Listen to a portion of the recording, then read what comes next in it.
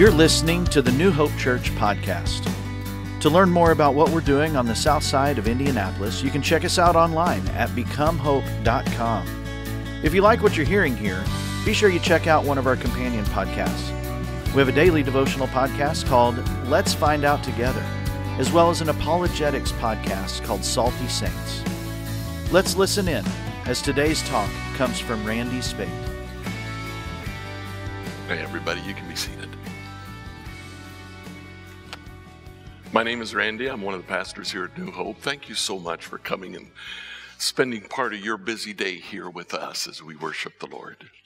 We're in the middle of a series here in the church called Ecclesia. It's the Greek word for the word church. We've seen that the church is called, the church is commissioned. Next week, we're going to talk a little bit more about how the church is commissioned. And the church is a community. Today, we're going to kind of focus on the fact that the church is indeed a community. We're called to be together. In fact, that's the theme of a lot of the New Testament. If you have your Bibles, you can open them to Ephesians chapter 4. We're also going to throw the words up here on the screen.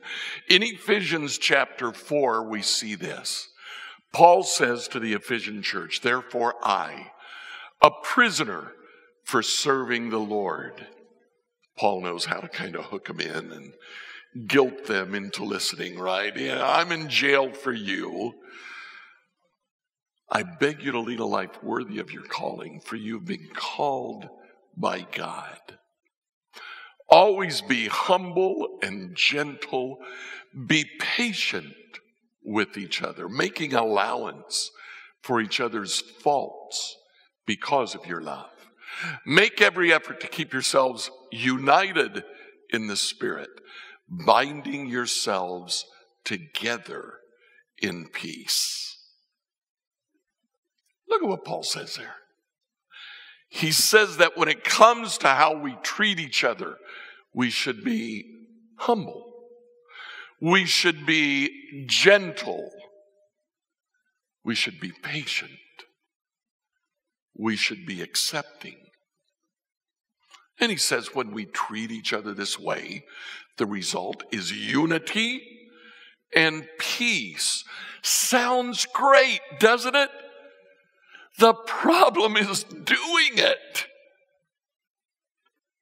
Because we live in a broken world.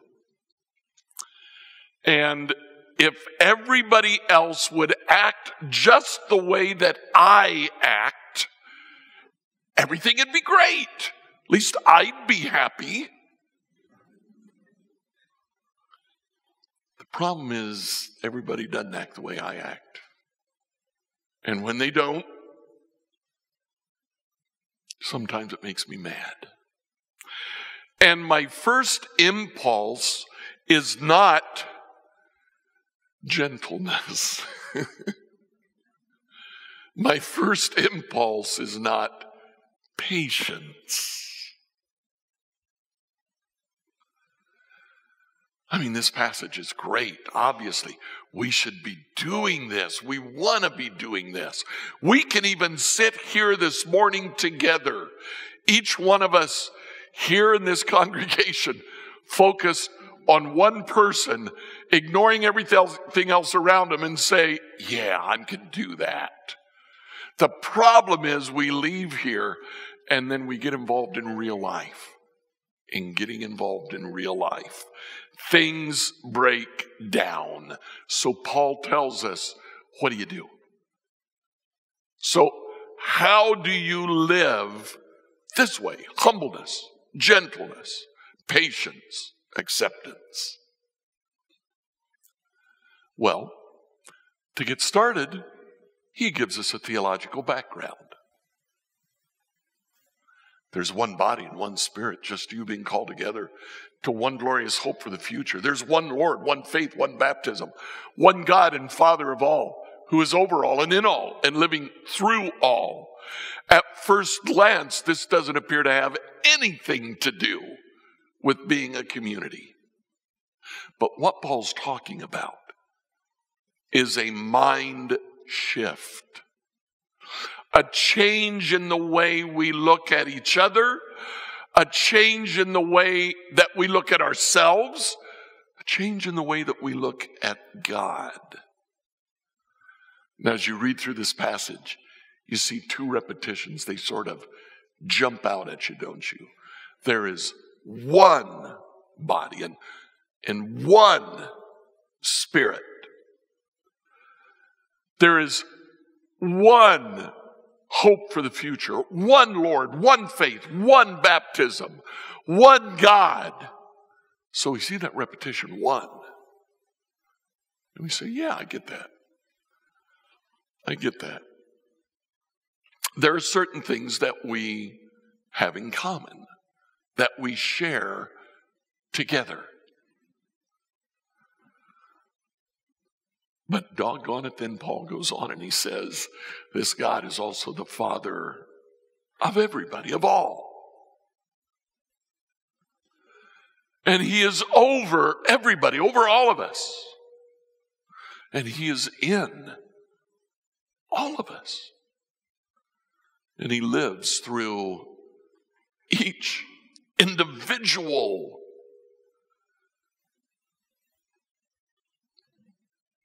One and all. Paul says, yeah, there are certain things that we have in common. See them here. One hope, one Lord, one faith, one baptism, one spirit, one body. Certain things we have in common. But he finishes that passage up by saying that it's all of us together, each single individual, with our individual quirks, our individual understandings, our individual struggles, and our individual different, distinct victories. God is over each individual. He's in each individual. Now, I think that what Paul is trying to get at here is that, yeah, we share some things, but at the same time, we are each different. We're different. Sometimes we think that other Christians ought to be exactly like we are, and we get frustrated when they aren't when they live in a way that's different from the way that we live. No, we think they should be just like us. That's the path to unity. Paul says exactly the opposite. He says, Oh no. It is not uniformity that's the sign of being a Christian. It's our unity in our diversity. We're different from each other. Thank God we're different from each other. But it's in that difference that we can show our unity. That's the mind shift that Paul wants to see in us. The fact that we can look at each other and say, You are different from me, and I thank God for that difference because in being different together, we're more than I am on my own. Your differences help complete the body of Christ. Man, if the body of Christ were all like Randy, we'd be a mess. but we're not. Where I struggle, you may have found victory. And you can see me struggling, and you come to me and you say, Hey, I went through that. Here's what I did. Let me pray for you.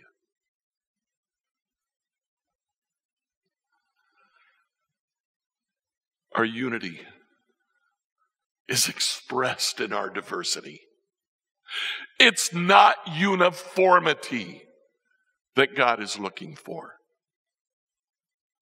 There are certain things that we do share there are certain things in common that we need to change and become like each other in that. But the vast majority of things, we are different and we're going to continue to be different. Some of us studied math in college, right? Uh, we have a certain way of looking at the world. Others of us studied art in science, uh, in, in, in college, and we have a different way of looking at things. Some studied education, and they're looking at people. Others were engineers, and they look at things. We're different. And we need all of us to come together. It's as we come together in unity that we learn how to accept our differences. We learn how to accept each other and the differences that God has made in each one of us and celebrate that together.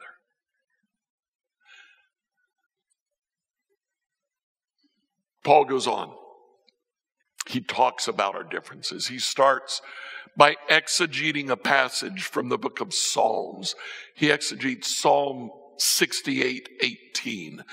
Now, he reads it from the Septuagint, and it says something like this After you ascended on high, you led captive the captives, and you gave gifts to men. First, he talks about what it means to ascend. You can't ascend unless you first descended. He talks about that for a little bit. And then he talks about the gifts that God gave to men. And he says, Now, these are the gifts that Christ gave to the church. And he names five apostles, prophets, evangelists, pastors, teachers. The gifts that God gave to the church are men and women. Men and women who have been put in leadership positions over us. And what do they do? Well, their responsibility is to equip us, God's people, to do His work and build up the church, the body of Christ.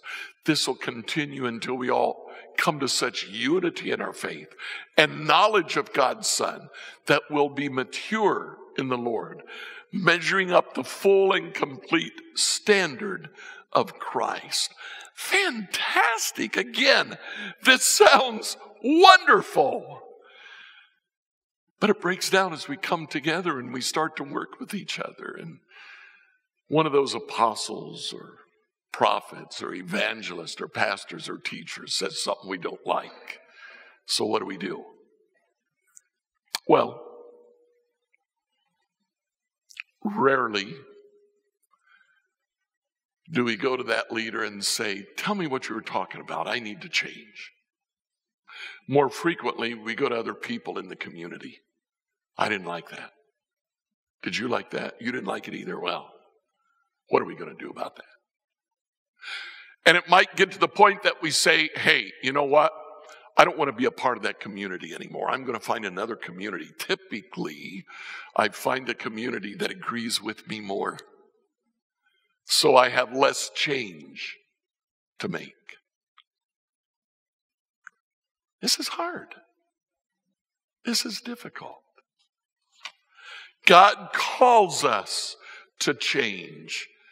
And he does it through the apostles, the prophets, the evangelists, the pastors, and the teachers that he puts over us. Well, Paul goes on. He says, then we will no longer be immature like children. We won't be tossed and blown about by every wind of new teaching. We'll not be influenced when people try to trick us with lies so clever that they sound like the truth. Instead, we will speak the truth in love, growing in every way more and more like Christ, who's the head of his body, the church. He makes the whole body fit together perfectly as each part does its own special work. It helps the other parts to grow. so that the whole body is healthy and growing and full of love. Again, we look at this and sounds wonderful, doesn't it?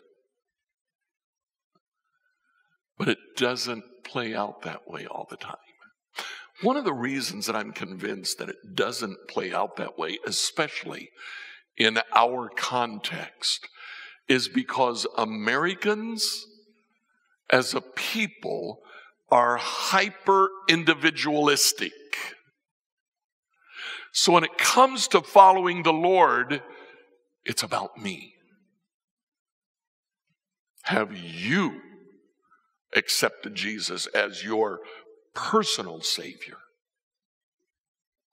Are you, as an individual, able to stand up against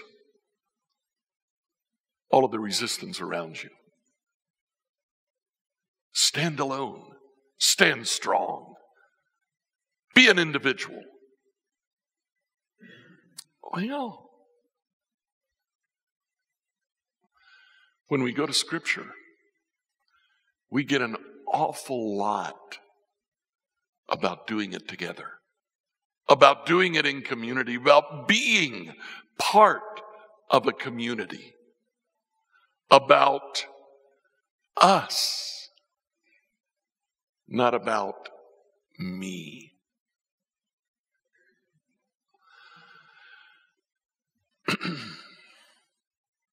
we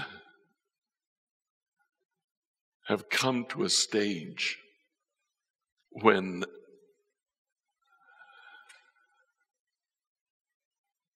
it's easier to stay at home, grab a cup of coffee, turn on YouTube or Facebook, and attend church. And I get it.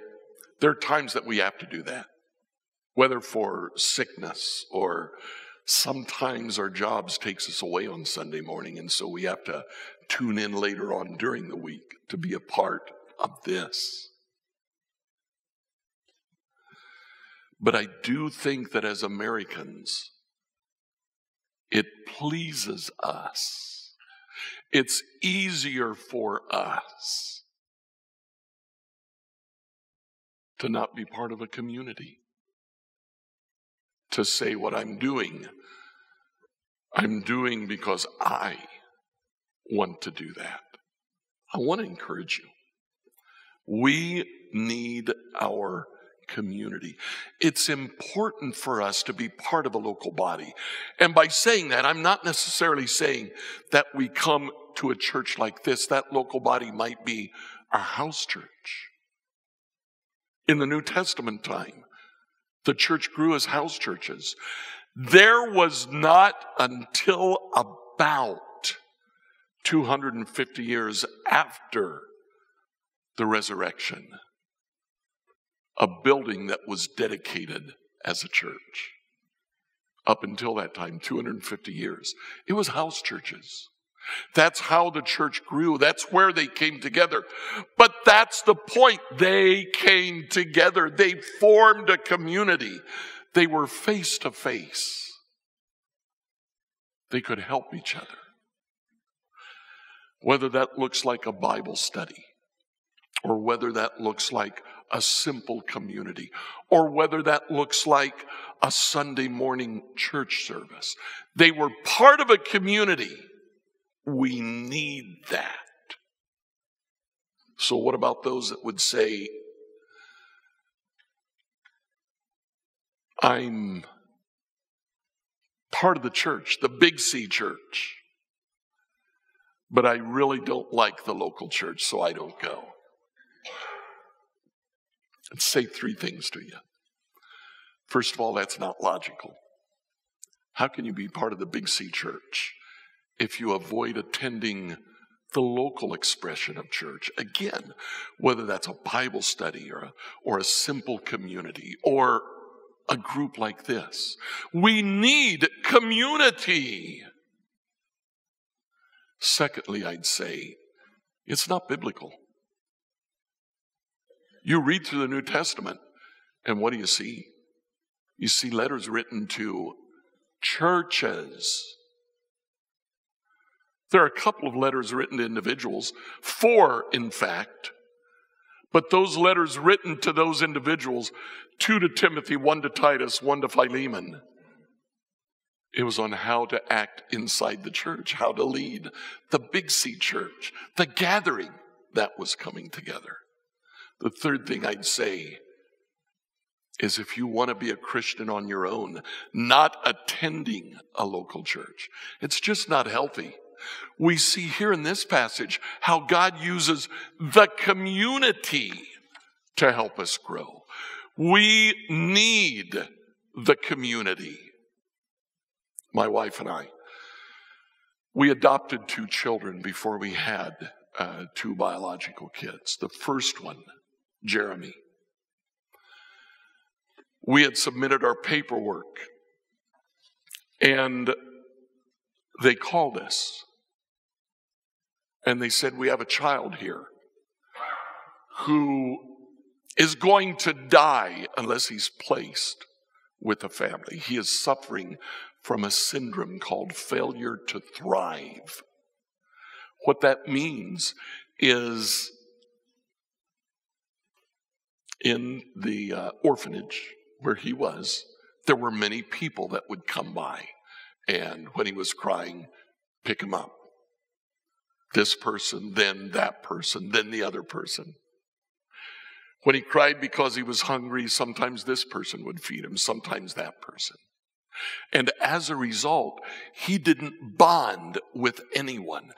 And he was literally dying at two and a half months old. He weighed less than 10 pounds. He had not grown since birth. They said, We fear that if we don't put him with a family, he will die. We took him and he began to put on a pound a week until today he weighs around 280. Somewhere in there, you know, things kind of got out of hand. no, he's just a big boy. He's an offensive lineman, offensive line football coach today. But the point is, we need community as Christians, when we don't get involved in a community, we can suffer from failure to thrive and we can die spiritually. We need our community. Now let's take a look again at those five types of leaders that God gave us. He gave us gifts as a church. They're the apostles. They're the innovators, the ones that are always looking for a new way to communicate the old message. The prophets, they speak truth to us, whether it's truth from a pulpit or whether it's sitting around a cup of coffee. The evangelists, they're the recruiters. They go out and they win people. The pastors, they're the caregivers. When we're down, we call them and it helps the teachers, they're the trainers. They open up God's word and it helps us see and understand. These are not the only gifts that are mentioned in the New Testament. There are two more lists. Romans chapter 12 talks about the prophet, the servant, the teacher, the encourager, the giver, the leader, and the friend. Being a friend is a spiritual gift. 1 Corinthians 12, we see God given wisdom, God given messages, God given faith, God given healing, God given miracles, God given prophecy, God given discernment, God given tongues, and God given interpretation. And these aren't the only thing that God uses. We have natural talents, inclinations that God uses, hospitality, music. All of these God can use. Some of us working with children, many, many others. It's as we discover our gift and begin to use it that we begin to grow in the Lord and we can help others to grow too. Now, here too is a problem. How do we figure out what gift we have? Well, when I was about 11 years old, I accepted the Lord in a, at that time they called them revival meetings. And there was a speaker that, that evening, his name was Stanley Tam. And uh, when he gave the invitation, I went forward to talk to him. He sat down with me. I was the only one that night. He probably thought, hmm, this was a this was a failure. Just one little 11 year old kid comes. But he took time. He, he showed me from scripture what it meant to be saved, what I needed to do, and I got involved. I, I tried to do it. And I didn't do it perfectly. I was a teenager. I grew a little bit and I fell a lot. But when I became an adult, I decided, okay, I need to get serious about this. And in my mind, the way to get serious was to imitate the person that had been instrumental in leading me to the Lord. I wanted to become like Stanley Tam. Now, Stanley was an evangelist. He was an evangelist on steroids. He would share the gospel with anybody and everybody, and people would come to the Lord. He was also a businessman. He kept records. One year he kept records, and he saw that that year he had led 365 people to the Lord. And he thought, wow, that's one a day. And he said, if I can do one a day, I can do two a day. And so he began to pray that the Lord would use him to bring two people every day to the Lord. And within a couple of years in his record keeping, he saw that he had led two people to the Lord every day. And he said, Wow, if I can do two, I can do three. And he began to pray. And sure enough, a couple of years later, as he tabulated the people who came to the Lord, he saw that on average, three people a day came to the Lord. That's an evangelist. That was not me. I'd try to do what I thought Stanley would do, and I'd, I'd talk to people, and I swear I drove more people away than came to the Lord. And I was frustrated. I figured, okay, I'm just not doing it right. So I studied and I tried to learn how to do it, and nothing helped. Well, by now I was a missionary in Colombia. Being a missionary, I thought, if I can't do it here, I'll do it there. Well, guess what? Whatever you can't do here, you're not going to be able to do there. but I got down there and I met a guy, and he helped me discover my gift. My gift is not the gift of evangelism. I'm a teacher encourager. The way encouragement is expressed in my life is in discipleship. I meet with a few and just try to help them grow. I try to pour everything that I have into them. And I'm a teacher. I love to study God's word and I love to share God's word. And I've had people say, that helped. Okay, okay. As I understood my gift, I began to grow. Others around me began to grow. I don't know what your gift is, but you need to figure it out. You need to find it and use it because that's what happens in community. We share together, we come together, and we grow together.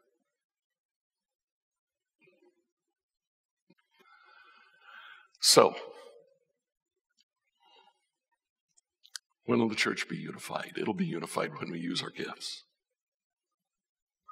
According to this passage, it'll be unified when we do the work.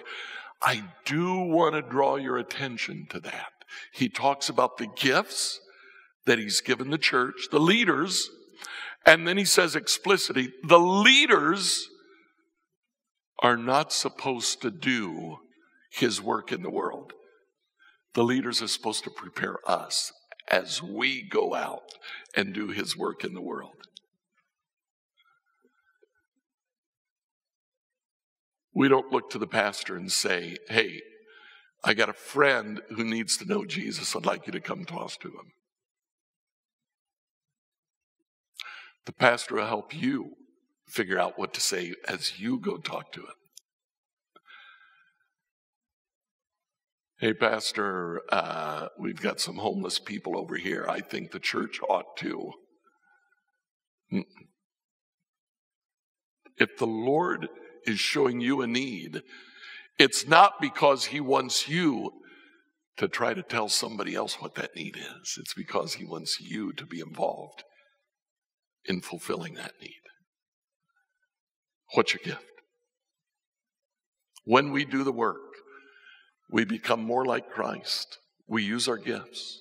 And we use our gifts inside the body and outside the body as well. Now, I do want to say one thing here. I am not an evangelist. That does not mean that I don't evangelize because we are all commanded to evangelize. Jesus said, Follow me and I'll make you fishers of men. That wasn't just for Peter, that's really for all of us. Some of us are going to have supernatural power when we do that. And it's really going to sink in. Others of us, like me, are going to struggle, but we're going to keep on doing it. Because, as my father said, even a blind hog finds an acorn once in a while. We're going to keep on doing it. The evangelist, oh man, it's going to be dozens and dozens. Me, you know, it might be two, three a year. But I'm going to keep on trying because we're commanded to do that. We're commanded to serve. We're commanded to encourage. We all need to be doing that. We're commanded to give. We're commanded to be friends.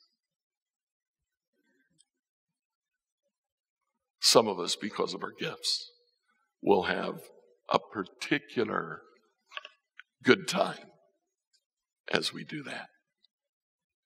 And finally, we will be unified as a church when we speak the truth in love with each other. One of the reasons that we are in community together is because iron sharpens iron as we come together and we get involved with each other in small communities, in small groups especially, we find that others become aware of our weaknesses and they can help. They can pray for us. Sometimes they've been through those weaknesses themselves and they will speak truth to us. But when they do, they'll speak the truth in love. We need the honesty that comes from being together in a local community. That honesty will bring us to have difficult conversations with each other. When we're in the middle of that difficult conversation, we've got to get, let love guide us. That's the interesting thing about speaking the truth in love. It's both sides of the coin. The truth, yeah, there's something that we need to be doing, but we communicate to that, that to each other in a loving manner. It's both grace and truth.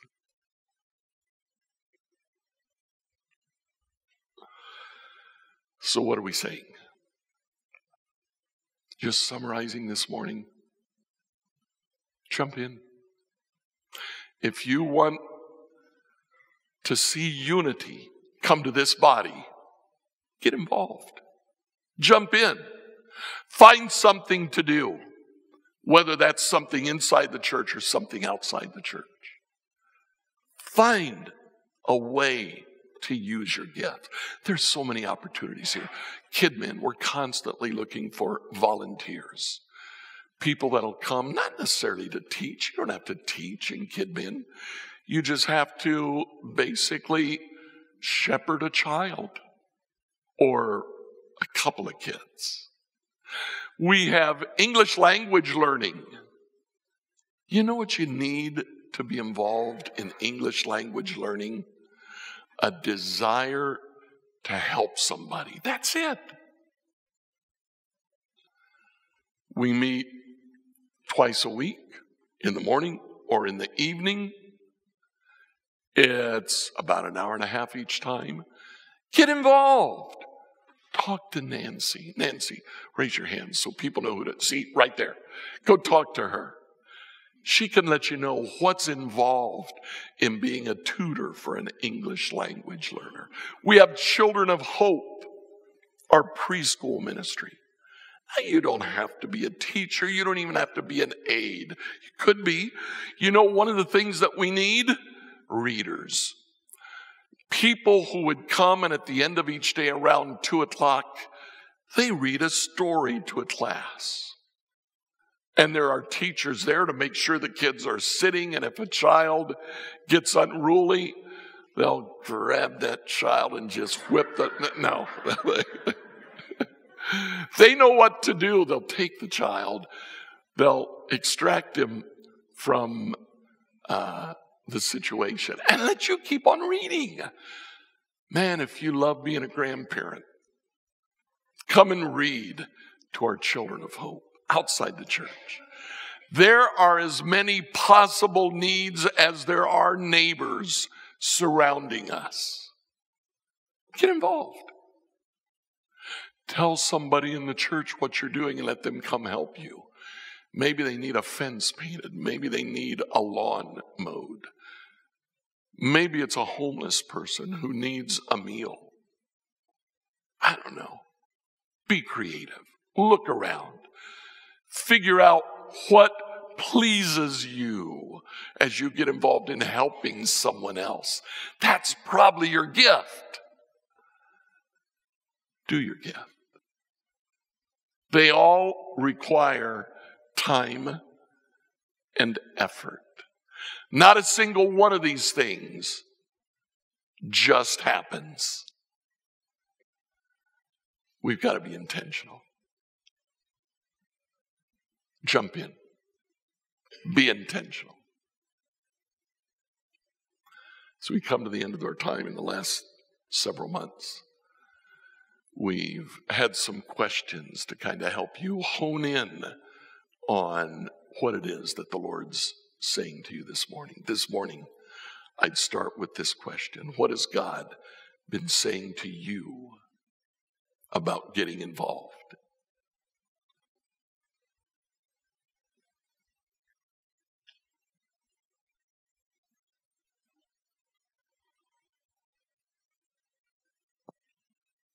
Many times it's the needs that we see around us.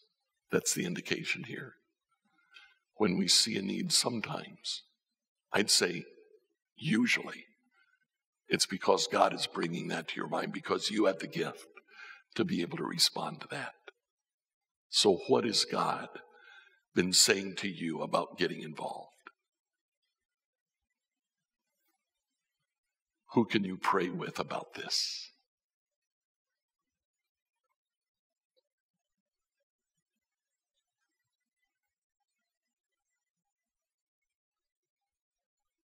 Is there anyone here that you need to talk to that might be able to hook you up with some resources or with other people who might be interested in the same thing?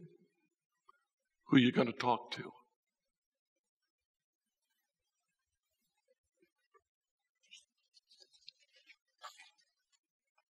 When are you going to talk to him? Pray with me, please. Lord Jesus.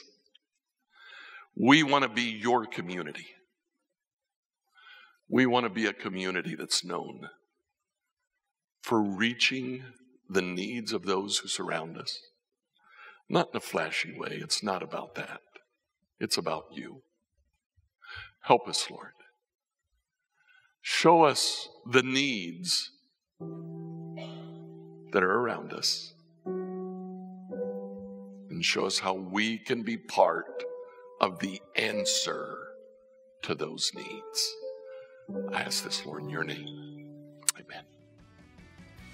Thanks for tuning in to the New Hope Church podcast. If you would do us a favor and like or subscribe on your favorite platform, we would really appreciate it. Also, if you happen to have any questions, feel free to reach out to us at questions at becomehope.com. Have a great week and know that we are praying for you as you seek to be Jesus in every corner of your world.